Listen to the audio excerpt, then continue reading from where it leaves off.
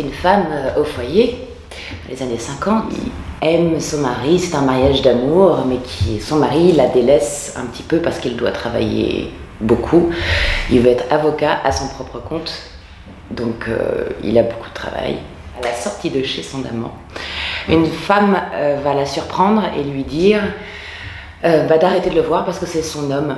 Et elle va revenir beaucoup de fois, la surveiller et lui demander beaucoup d'argent. Et pour ne pas, pour pouvoir s'en sortir, cette femme va devoir mentir et mentir à son mari pour euh, cacher euh, la vérité et surtout ne pas le perdre. Là, dans La peur, il n'y a que 50 pages, il y a très peu de dialogue. C'est principalement la description des sentiments d'Irène, donc euh, d'Hélène, et, euh, et, cette angoisse qui monte au fur et à mesure de ce qui lui arrive et de cette femme qui la poursuit. Donc on, on comprend vraiment euh, la psychologie du personnage, mais après la relation avec son mari, qu'est-ce qu'ils se disent au quotidien, euh, enfin tout ça n'existe pas. Et et, la, fin de la nouvelle d'ailleurs n'est pas très développée. Il y a le retournement de situation, la nouvelle s'arrête là, alors que dans la, mon adaptation, ça continue. J'ai vraiment euh, lu euh, le texte trois fois, j'ai posé euh, le livre et puis je me suis dit, ok, j'ai mon fil conducteur, à moi d'écrire maintenant. Voilà. Donc il fallait vraiment étoffer et trouver encore plus de densité au texte.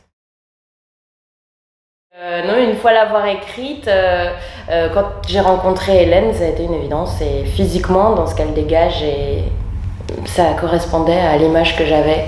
Pour moi, il y avait une image de Grace Kelly. et, et, là, je retrouvais cette grâce, ce côté très féminin, très, très femme chez Hélène. Et comme en plus je, transpose la nouvelle dans les années 50, euh, voilà, ça, ça, collait avec euh, ce que j'avais dans ma petite tête. La particularité encore plus du rôle euh, d'Irène, euh, c'est que une fois qu'on est sur le plateau, après il n'y a plus qu'à se laisser porter par ce qu'il est en train de se passer. Parce que comme elle est en permanence sur scène, euh, elle vit chaque instant. Il n'y a, y a presque pas de scène qu'on ne voit pas dans ce qu'elle pourrait vivre. Il y a des ellipses de temps, mais tout a une progression extrêmement logique et elle n'a plus qu'à réagir à ce qu'on lui dit et à ce que ses partenaires lui donnent. Alors que les autres personnages, il y a plus d'ellipses de temps. Euh, son mari, Fritz, comme c'est, on est dans le point de vue d'Irène, donc on a vraiment tout au sujet d'Irène. Alors que Fritz, euh, on le voit plus en observateur, mais on voit pas vraiment, on n'a pas accès à comment ils vivent ce qu'il est en train de se passer avec sa femme. On comprend que ça le chagrine, qu'il essaye de faire parler sa femme parce qu'il constate qu'elle va pas bien, euh, qu'il tente de faire des efforts pour, pour la récupérer parce qu'il a la sensation que qu'elle que lui échappe parce qu'elle s'enferme chez elle, qu'elle veut plus sortir, qu'il comprend pas ce qui est en train de se passer. Mais on, le saisit comme ça par petites touches, mais c'est pas plus développé que, cela. Alors que euh, Irène, on est tellement tout le temps avec elle qu'on voit cette euh, tension dramatique monter au fur et à mesure. On la voit euh, être confrontée à son mari, puis être confrontée à cette femme qui lui en demande toujours plus. Et donc au bout d'un moment, elle se retrouve mais complètement acculée par, et, ça devient problématique et il y a une angoisse qui ne cesse d'augmenter. J'ai la chance de pouvoir avoir un trio d'acteurs qui, sur scène et dans la vie, s'entend à merveille et où il c'est une, aventure humaine également. Et c'est ça qui est, merveilleux et je pense que ça se ressent sur le plateau. Ah, parce qu'il y a une grande confiance aussi, on s'amuse vraiment ensemble à être à l'écoute et c'est vrai que au fur et à mesure des représentations, ben, on crée aussi encore tout le temps et ça ne fait que euh, enrichir euh, les personnages, la situation. De scénographie, ça a changé parce que l'espace était beaucoup plus petit, donc Elodie a refait faire les décors. Elle a repensé par rapport au théâtre Michel.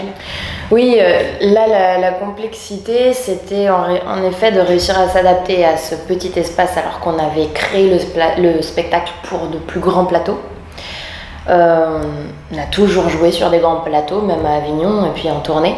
Dans ce théâtre qui est magnifique, il y a une grande salle, mais un petit plateau. Et, et donc, j'allais moins obtenir ce résultat d'éclatement de décor. Euh, en revanche, euh, on a plus l'aspect voyeur où on a l'impression d'être euh, comme si on était dans la rue et qu'on regarde à travers une petite fenêtre ou un petit trou de souris et que euh, on, s'immisce complètement dans la vie de ce couple. Oui, une telle proximité. Qu'on était obligé de plus rentrer dans une vraie forme de réalisme que dans le côté très théâtre. On va trop en parler parce que pour pas dévoiler les choses. Non, mais, quoi qu'il en soit, c'est sûr qu'en fonction du vécu des uns et des autres, euh, il y, a, y, a, des réactions qui n'ont rien à voir. Même quand on était à Avignon et qu'on tractait, euh, parfois, moi il suffisait que je dise euh, c'est l'essor d'un couple, le mari travaille beaucoup, il est avocat, il délaisse sa femme. Tout de suite, des femmes me disaient ah bah elle prend un amant. Ah bon la, la, fin qu'on a créée, c'est vrai que. Mm. Pour moi, elle est plutôt ouverte. là-dessus qui sont très drôles. Je, vous pouvez me dire, s'il vous plaît, alors euh, finalement. Euh... alors que moi, ça me plaît justement de pouvoir ouvrir et que les gens, en fonction de ce qu'ils ont envie de, de, de mettre, de projeter. voilà, de projeter. Et c'est ça qui est génial parce qu'en effet, quand les gens viennent à plusieurs, comme ils ont tous leur lecture, euh, c'est très souvent qu'au restaurant on les retrouve et ils sont en plein débat sur euh, mais alors et lui, mais non, mais c'est elle, elle aurait pas dû, mais c'est lui, il aurait pas dû, mais c'est très drôle.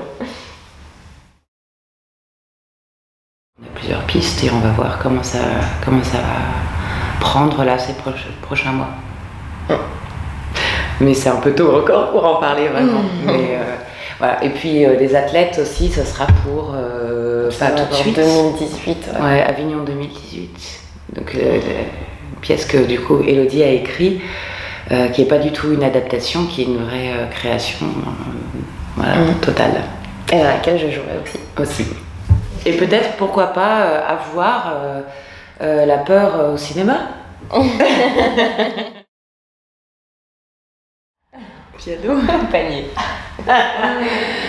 Allez. Piano. Panier. Piano. Panier. Piano. Panier. Piano. Panier.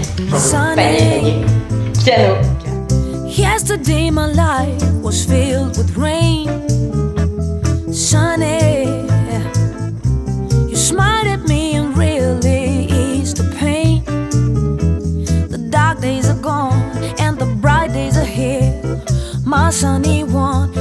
so sincere, Sonny, one so true.